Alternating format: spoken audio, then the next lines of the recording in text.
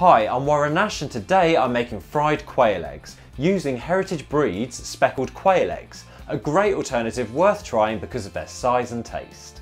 First take your quail eggs, and because of their size they're not easy to crack as you would a usual hen's egg. Luckily however they do have a soft shell, so for each egg hold upright and make an incision through the shell a quarter of the way down from the top of the egg.